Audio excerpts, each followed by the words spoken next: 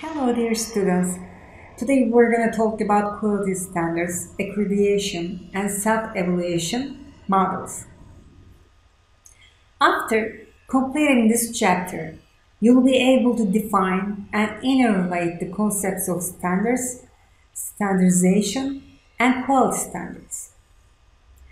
You could be able to explain national and international quality standardization and applications explain the concepts and purpose of accreditation, national and international accreditation institutions. And the last, you could define the concepts of self-evaluation and explain the models is applied. Before we begin this chapter, again, we need to remember what is quality. Quality is an organization-wide process. Quality is what the customer says it is. Whatever they expect, whatever they want, everything. Quality is a way of managing. Quality is an ethic because quality gives us what is wrong, what is right, everything gives us the standards, shows us what is incorrect, what is correct. That's why it's an ethic. Quality is the most cost effective, least capital intensive route to productivity. And last quality is implemented as a total system connected to both customers and suppliers. Standard, when we talk about standard in the organizations or in the business, we're talking about policies, rules, directives, procedures. For what? For all transactions in the businesses to guide employees to successfully perform their jobs. There are a number of features that the standards used for production or services delivery in enterprises. And these standards, the safety human health, life and property we needed. It ensure that uniformity of products or services require the production of quality products and services require that they are produced, especially economically, in accordance with the intended use. Standards are based on the verified results of scientific, technical, experimental research, and last standards are proven by accuracy. Mostly, standards involve the processes, which processes? Every facilities that in the business, from the production factors, production process used in production of goods or services.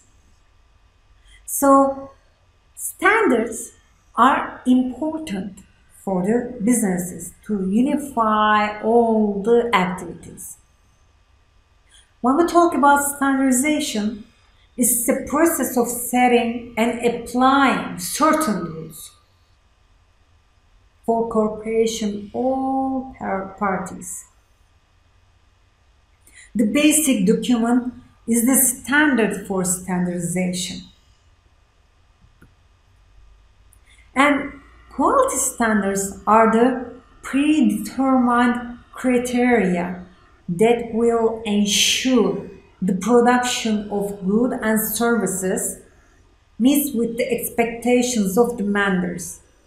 Who are the demanders? Everything is at the outside. Customers, suppliers, the other businesses, government, so they are demanders. They are waiting good production, good services from us. These quality standards shouldn't be considered as features that should be required only after the goods and services have been obtained. So, in the enterprise, everybody should understand these standards are for their good and they should accept that standards as a whole. A national standard is a sector specified standard that is published by the relevant organization of a country. In Turkey, Turkish Standards Institute is prepare such standards. The standards prepared by Turkish Standards Institute, the participation of all relevant stakeholders in line with the international standards pre preparation principles. Other standardization activity of the TSE is to ensure that current standards are regularly updated. As per the international systematic review principles, the TSE systematically reviews evaluates the standards in five years, every five years, for revision, for amended, repeal, or accept, acceptance. Why five years? Because, like we said, standards should be updated because everything is changing so fast and changing makes differences about standards too.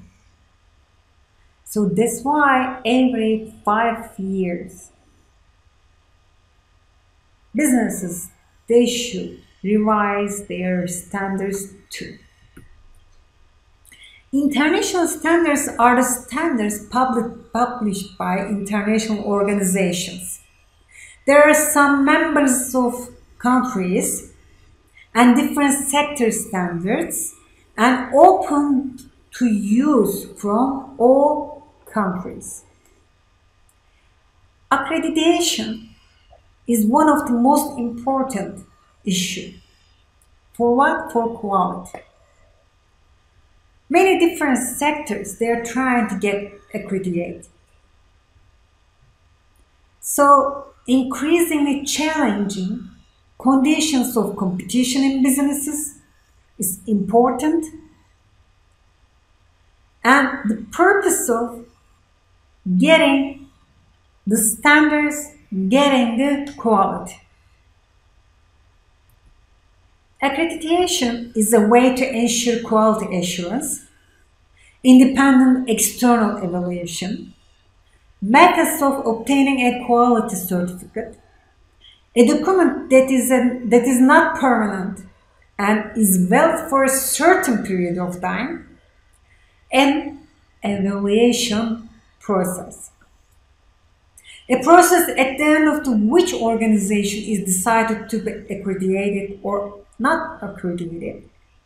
A process where the institution and the organization must prove that quality criteria used in their works a process where after getting, receiving this document, institutions or, or organizations are controlled periodi periodically. A process where, if requested by the institutions, is initiated and monitored. Self-evaluation is a review based, based on systematic concrete data that allows an information to identify strengths and they have to find out their strengths because of the improvement and periodically measure progress. So self-evaluation enables organization to evaluate themselves. So there are some techniques about it. SWOT analysis, PEST analysis, observations, comparing, integrating and applied development models we're talking about. In this chapter, we define and interrelate the concepts of standards, standardization, and quality standards, explain national and international quality standardization and applicants, explain the concepts and purpose of accreditation and national and international accreditation institutions, and we define at the end of it concepts of self-evaluation and explain the models is applied. See you in the next chapter.